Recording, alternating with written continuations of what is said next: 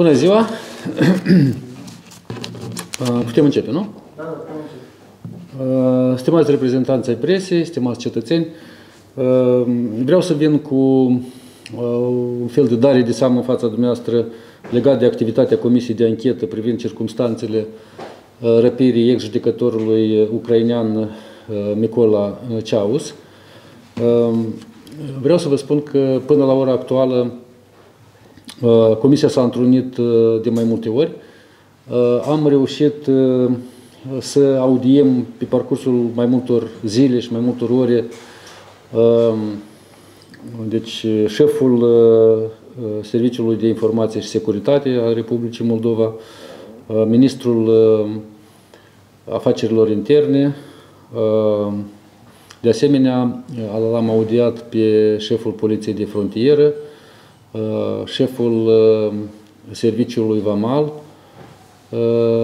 al țării, serviciul, directorul Serviciului 112 și, de asemenea, am avut o, o discuție cu secretarul de stat al Ministerului Afacerilor Externe și Integrării Europene. Totodată, astăzi, începând cu ora 10 și până acum câteva minute, am avut audieri în care am invitat-o pe doamna Svetlana Ceaus, soția ex-judecătorului ucrainean care a fost răpit în data de 3 aprilie. De asemenea, am discutat cu Alexei Kirilicenko, garda de corp a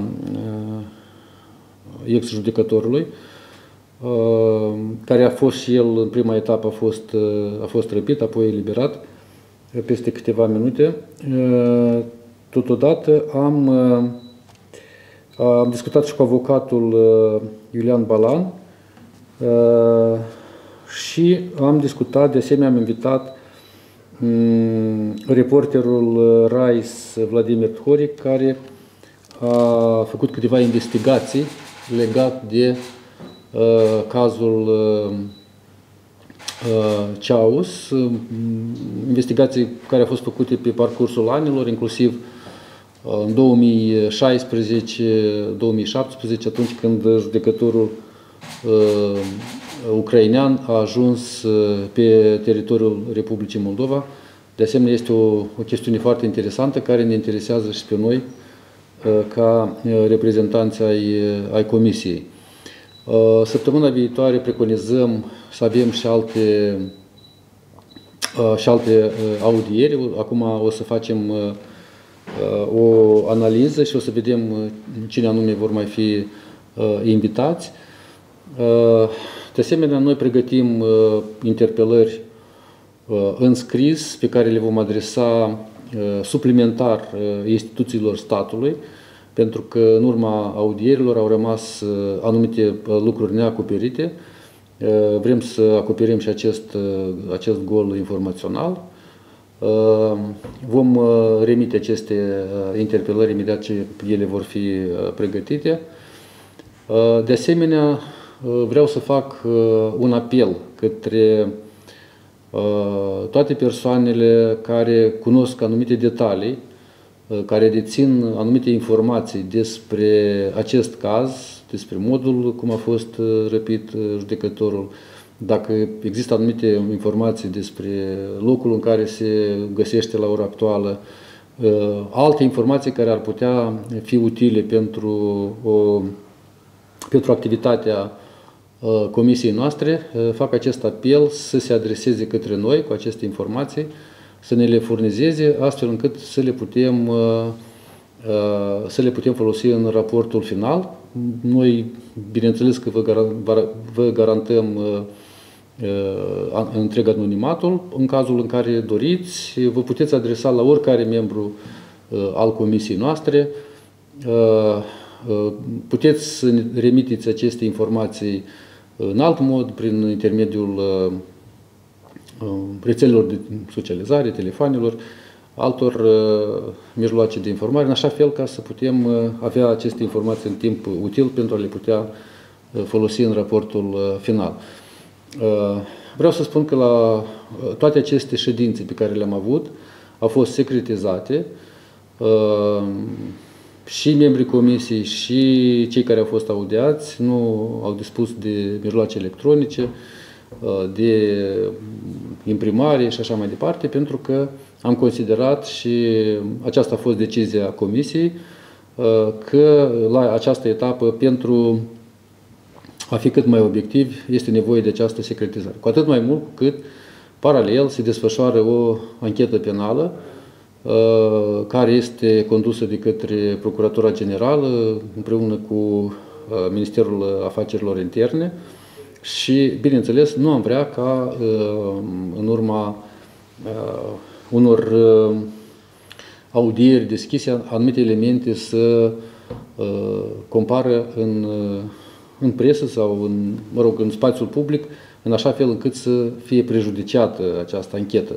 Noi vrem ca noi vrem să aflăm adevărul uh, și uh, aș vrea să vă mai spun că am primit și uh, un, un răspuns destul de pertinent din partea Procuraturii Generale legat de acest caz. Deci răspunsul va fi de asemenea anexat la raportul de activitate al Comisiei, acele elemente care ne interesează și ceea ce vrem noi să aflăm sunt două lucruri foarte importante.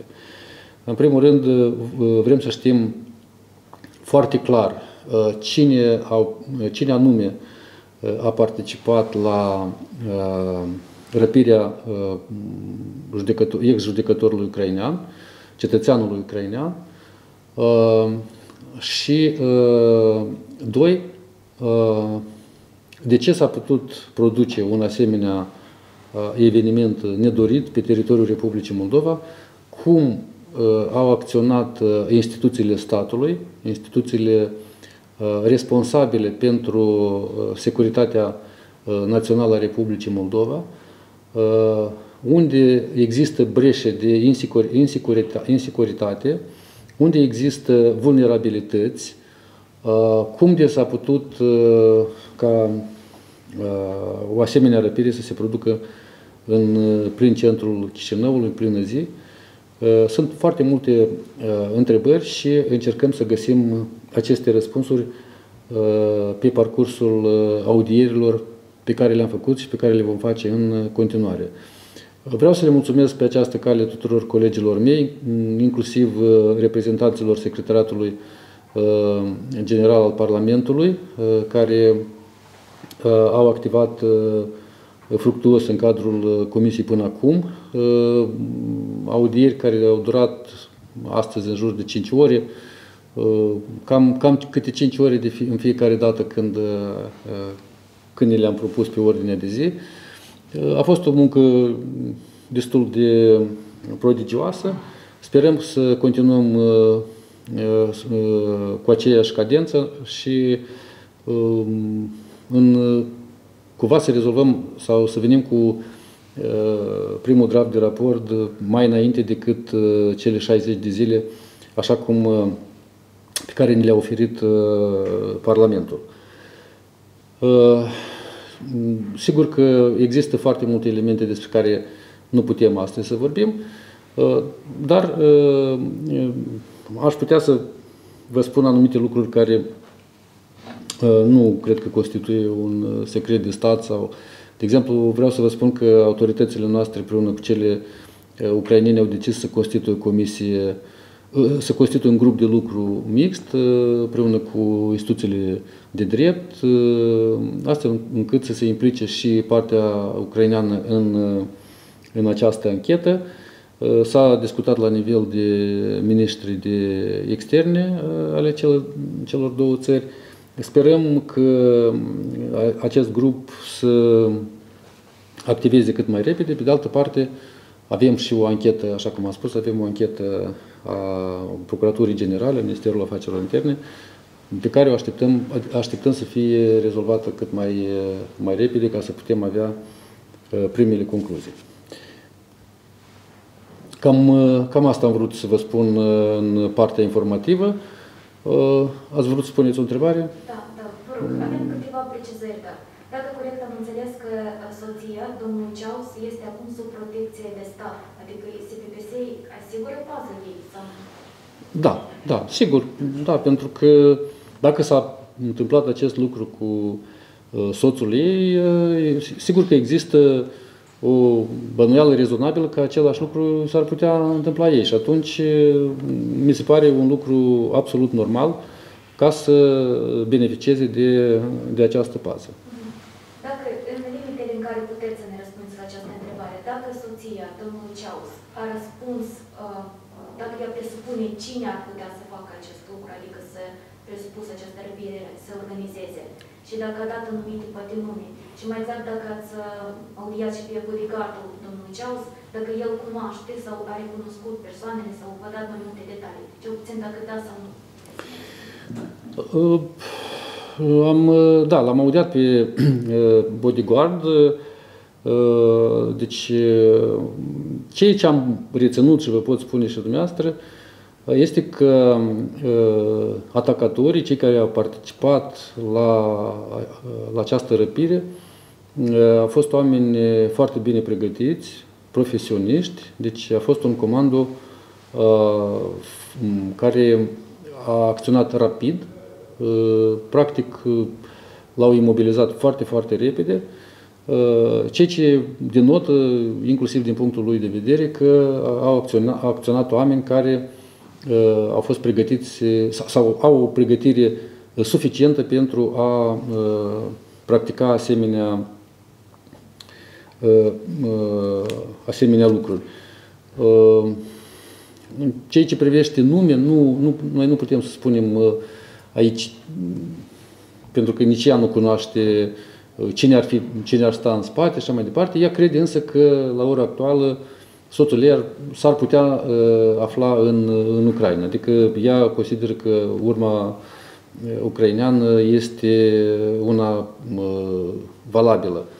Dar nu, nu, a, nu a putut să spună cine anume ar avea interesul ca soțul ei să plece. Ceea ce știm cu siguranță este că uh, și ceea ce ne-a spus dânsa este că ea, ei ar fi, dacă nu ar fi obținut drept de azil în Republica Moldova, ei ar fi dorit, și acest lucru ne l-a, ne l-a spus și avocatul, să, să plece printr-o procedură simplificată de extradare în, în Ucraina. Adică ei nu aveau nimic împotrivă să meargă să-și pledeze cauza în fața justiției din, din Ucraina. În momentul în care justiția din Republica Moldova definitiv ar fi spus că nu, nu, acord, nu, nu le acordă acest drept de azil politic.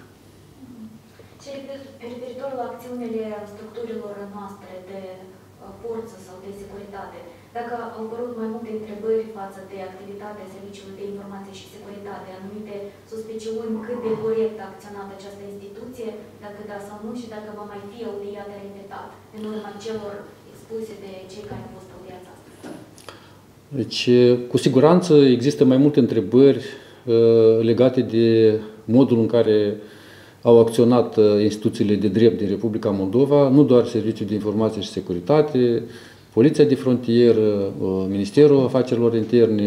Deci vorbim aici de, de întreg, uh, întreg sistemul care uh, era obligat să asigure securitatea Republicii Moldova, să nu existe aceste breșe, cum s-a acționat după ce s-a aflat despre această răpire și alte, alte lucruri. Desigur că avem încă multe precizări de făcut, nu, nu este totul clar, de aceea noi Uh, vom încerca prin uh, interpelările pe care le pregătim acum și aveți dreptate, noi uh, peste o perioadă de timp probabil că iarăși vom apela la conducătorii acestor instituții pentru audieri repetate sau pentru ca ei să vină cu anumite precizări legate de modul în care au activat pe o anumită durată de timp sau pe un anumit Uh, segment în care s-a produs, uh, s-a produs această, această infracțiune.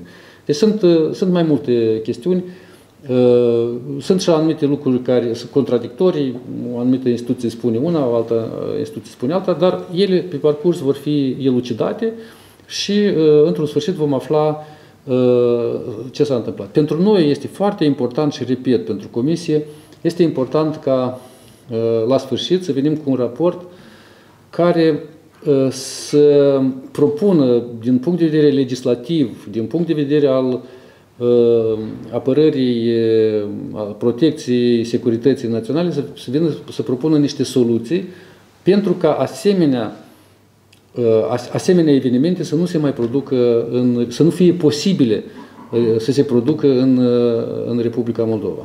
Dacă mai aveți și alte întrebări? Da, și domnule Năstase, avem o întrebare despre decizia de astăzi a Curții Constituționale, care a decis că sunt circunstanțe pentru dizolvarea Parlamentului.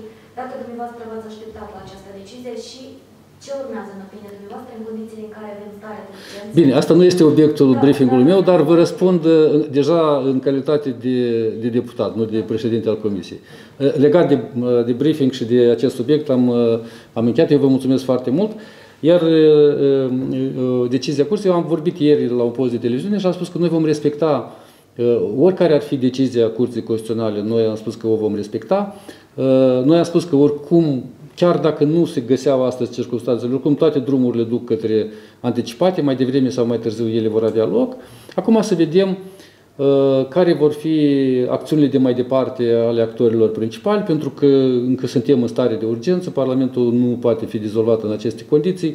Să vedem dacă uh, ceea ce am propus ieri, uh, am, am propus o, un, un dialog, o discuție pe platformă parlamentară cu forțele reprezentative ale Parlamentului, în așa fel încât să avem, să găsim o, o foaie de parcurs foarte clară Uh, până la, inclusiv cu stabilirea uh, datei alegerilor uh, anticipate, pentru că mie mi se pare că acest lucru trebuie să-l facă toți actorii, și președinția, și Parlamentul. Aici trebuie de găsit un consens foarte clar, în așa fel încât să nu afectăm sănătatea oamenilor ținând cont de situația pandemică, dar pe de altă parte să acționăm în spiritul deciziei de astăzi a Curții Constituționale pentru a ne deplasa, a ne mișca către Uh, alegeri parlamentare anticipate. Deci, practic, noi ne-am menținut uh, uh, aceeași poziție și considerăm că aici este nevoie de acest dialog pentru a găsi diferite soluții, inclusiv soluții tehnice legate de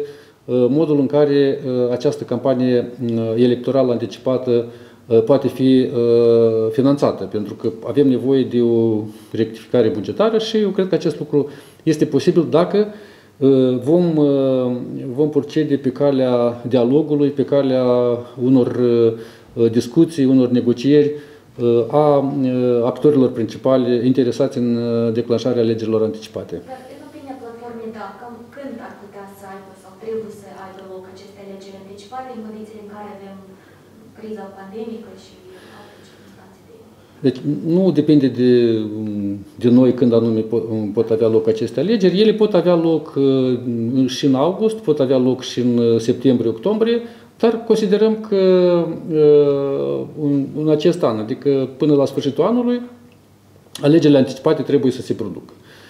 Cam, pentru că cam, cam toți actorii importanți și uh, președinția, și PAS, și PSRM-ul, deci tot ce au vehiculat ei până acum sunt cam aceste cifre. Unii vor în vară să fie august, alții vor septembrie-octombrie. Deci nu văd o mare, un mare decalaj. Deci tot acolo este, dar trebuie de găsit, trebuie de găsit împreună soluția să, să avem această cale de parcurs, cum să ajungem în mod civilizat, în mod Uh, cum să spun, fără uh, aceste confruntări politice de pe, pe de o parte și pe de alta, dar să ajungem într-un mod civilizat uh, la alegerile anticipate, fără a afecta încă o dată interesele legitime ale oamenilor, în special protecția sănătății lor. Și vă mulțumesc, o zi bună!